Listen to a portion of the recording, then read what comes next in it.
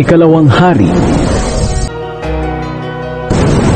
Ang paghahari ni Hosea sa Israel Ikalabimpitong Kabanata Naging hari ng Israel ang anak ni Ela na si Hosea nang ikalabing dalawang taon ng paghahari ni Ahaz sa Huda. Sa Samaria siya tumira at naghari siya roon sa loob ng siyam na taon.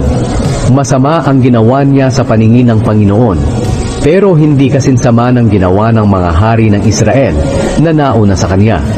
Nilusob ni Haring Shalmaneser ng Assyria si Hosea at natalo niya ito. Kaya napilitang magbayad ng buwis taon-taon ng Israel sa Assyria. Pero nagplano si Hosea laban sa hari ng Assyria sa pamamagitan ng paghingi ng tulong kay Haring So ng Ehipto para makalaya sa kapangyarihan ng Assyria. Hindi na rin siya nagbayad ng buwis katulad ng ginagawa niya taon-taon. Nang malaman ng hari ng Assyria na nagtraidor si Hosea, ipinadakip niya ito at ipinakulong. Pagkatapos, nilusob ng hari ng Assyria ang buong Israel. Sa loob ng tatlong taon, pinaligiran niya ang Samaria. Nang ikasyam na taon ng paghahari ni Hosea, sinakop ng hari ng Assyria ang Samaria at dinala ang mga taga-Israel sa Assyria bilang mga bihag. Pinatira niya sila sa lungsod ng Hala, sa mga lugar na malapit sa ilog ng Habor sa Gozan at sa mga bayan ng Media. Nangyari ito sa mga taga-Israel dahil nagkasala sila sa Panginoon na kanilang Diyos na naglabas sa kanila sa Ehipto at nagpalaya mula sa kapangyarihan ng Faraon na hari ng Ehipto. Sumamba sila sa mga Diyos-Diyosan at ginaya nila ang mga kasuklam-suklam na ginagawa ng mga bansang pinalayas ng Panginoon sa pamamagitan nila. Sumunod din sila sa kasuklam-suklam na pamumuhay ng mga hari nila. Palihim din silang gumawa ng mga bagay na hindi nakalulugod sa Panginoon na kanilang Diyos. Gumawa rin sila ng mga sambahan sa matataas na lugar, sa lahat ng bayan mula sa pinakamaliit na barangay hanggang sa malalaking napapadirang lungsod. Nagpatayo sila ng mga alaalang bato at mga posteng simbolo ng Diyos ang si Asherah sa ibabaw ng bawat matataas na burol at sa ilalim ng bawat malalagong punong kahoy. Nagsunog sila ng mga insenso sa bawat sambahan sa matataas na lugar, katulad ng ginagawa ng mga bansang pinalayas ng Panginoon sa pamamagitan nila. Gumawa sila ng mga kasuklam-suklam na bagay na nakapagpapagalit sa Panginoon. Sumamba sila sa mga Diyos-Diyosan, kahit na sinabi ng Panginoon, huwag kayong sasamba sa mga Diyos-Diyosan. Paulit-ulit na nagpapadala ang Panginoon ng mga propeta para bigyang babala ang Israel at ang Huda. Itigil ninyo ang mga kasuklam-suklam ninyong ginagawa. Sundin ninyo ang mga utos ko at tuntunin. Ayon sa kautusan na iniutos ko sa inyong mga ninuno at ibinigay ko sa inyo sa pamamagitan ng aking mga lingkod na propeta.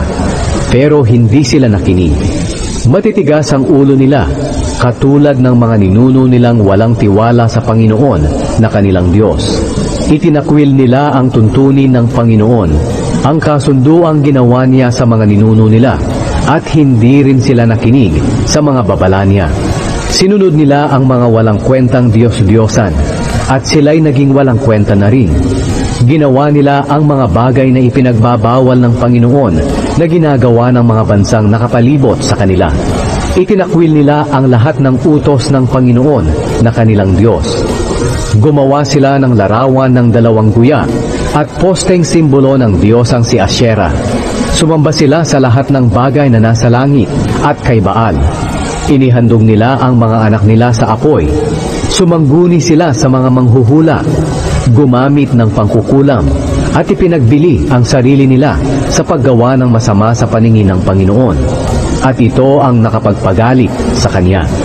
Galit na galit ang Panginoon sa Israel, kaya pinalayas niya ang mga ito sa harapan niya. Ang lahi lang ni Huda ang natira sa lupain.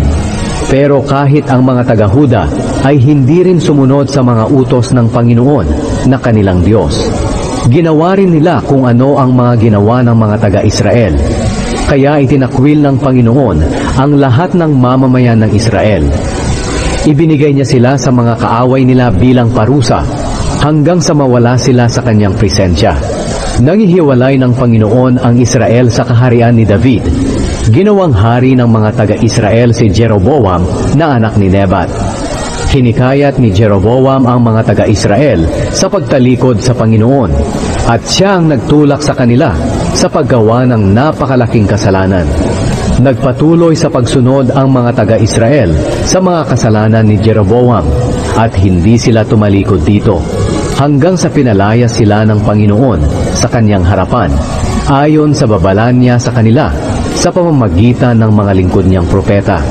Kaya binihag ng Assyria ang lahat ng mamamayan ng Israel at doon sila nakatira hanggang ngayon.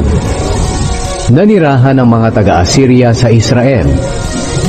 Nagpadala ang hari ng Assyria ng mga tao mula sa Babylonia, Kuta, Ava, Hamat at Sepharvaim at pinatiran niya sila sa mga bayan ng Samaria para palitan ang mga Israelita.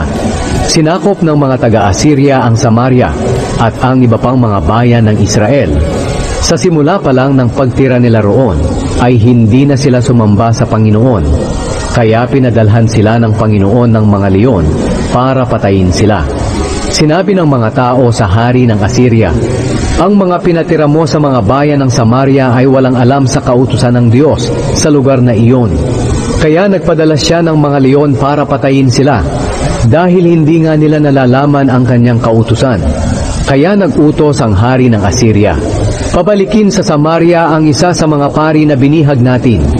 Hayaan niyo siyang magturo sa mga bagong nakatira roon kung ano ang kautusan ng Diyos sa lugar na iyon. Kaya ang isa sa mga pari na binihag mula sa Samaria ay bumalik at tumira sa Bethel.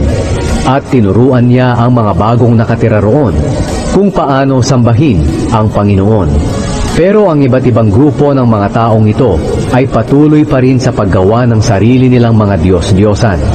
Sa bawat bayan na tinitirhan nila, ay nilalagyan nila ng mga Diyos-Diyosan sa mga sambahan sa matataas na lugar na ginawa ng mga taga-Samaria. Ginawang Diyos ng mga taga-Babilonia si Sukot Benot. Sinamba ng mga taga-Kuta ang Diyos nilang Sinergal. Sinamba naman ng mga taga-Hamat si Ashima Sinamba ng mga taga-Ava ang Diyos nilang sina Nibhaz at Tartak. Sinunog naman sa apoy ng mga taga-Sepharvaim ang mga anak nila bilang handog sa Diyos nilang sina Adramelech at Anamelech. Sinamba nila ang Panginoon, pero pumili sila ng mga pari na mula sa kanila para mag-alay ng mga handog sa mga sambahan sa matataas na lugar. Kahit sinasamba nila ang Panginoon, patuloy pa rin sila sa pagsamba sa kanilang mga Diyos-Diyosan, ayon sa kaugalian ng mga bansang pinanggalingan nila. Hanggang ngayon, ginagawa pa rin nila ito. Wala silang takot sa Panginoon at hindi sila sumusunod sa mga tuntunin, mga turo at mga kautusan na ibinigay ng Panginoon sa lahi ni Jacob na pinangalanan niyang Israel.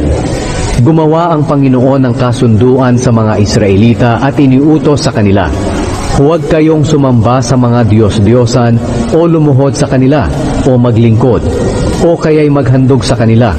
Sambahin ninyo ako, ang Panginoon na naglabas sa inyo mula sa Ehipto sa pamamagitan ng dakila kong kapangyarihan at lakas.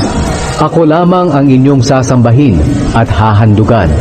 Palagi ninyong sundin ang mga tuntunin, turo at mga kautusan na isinulat ko para sa inyo.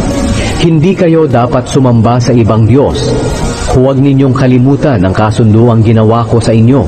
At huwag kayong sasamba sa ibang Diyos. Sa halip, ako lamang ang sambahin ninyo, ang Panginoon na inyong Diyos. Ako lang ang magliligtas sa inyo sa lahat ng kaaway ninyo. Pero hindi nakinig ang mga taong iyon at nagpatuloy sila sa dati nilang ginagawa. Habang sinasamba ng mga bagong naninirahan ang Panginoon, sumasamba rin sila sa mga Diyos-Diyosa nila. Hanggang ngayon, ito pa rin ang ginagawa ng mga angkan nila.